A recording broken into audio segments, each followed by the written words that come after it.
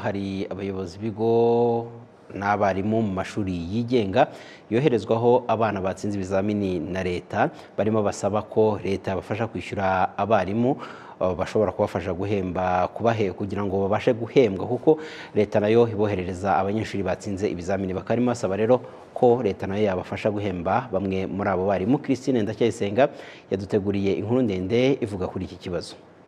Hari amwe mu mashuri yigengaga yagiye abura ubushobozi andi abura abanyeshuri agenda afunga imiryango gahoro gahoro nk'urugero mu ishuri ndimo muri aka kanya. Ahahoze ishuri ryigenga rya koleji imena mu karere ka huye mu murenge wa karama inyubako zatangiye kwangirika kubera kudakorerwamo kuko iri shuri ryafunze imiryango. Bimwe mu bigo byigenga byasigaye bidafunze imiryango byatangiye guhabwa abanyeshuri boherejwe na leta. Umuyobozi w'ishuri ryisumbuye rya groupe scolaire de para riherereye mu karere ka huye agaruka kuri bimwe mu byo leta ibafasha mu burezi bw'abanyeshuri. Iri ni rimwe mu mashuri leta yoherezamo abanyeshuri.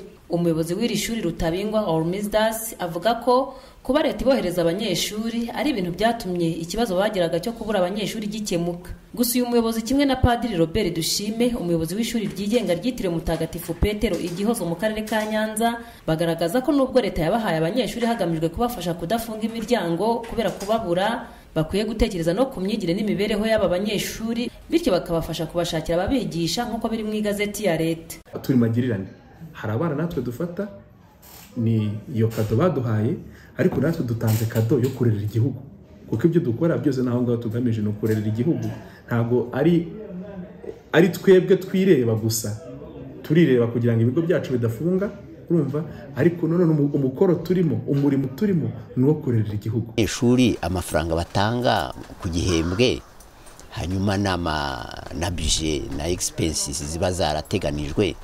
Ugasanga bije ntihagije mu magambo make. Ni bije iba idahagije ugasanga kwa kundi amafaranga abanyeshuri batanga urayasaranganya mu kugura ibikoresho no mu guhemba abarimu. N'ibindi byose byafasha kugira ngo ishuri rigende ibikorwa ibikorwa muba mwapanze ku ishuri bigende neza kandi birangire.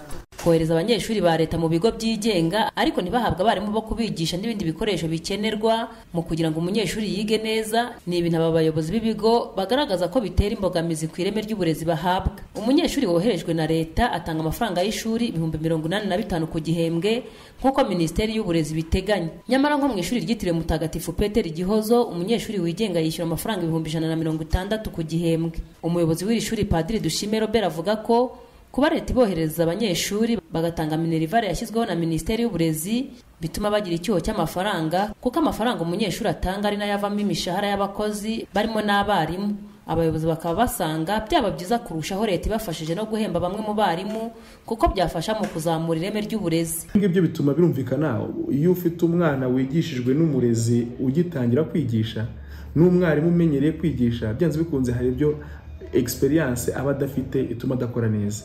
Iyo ibyo rero bihita bigana ku mitsindire.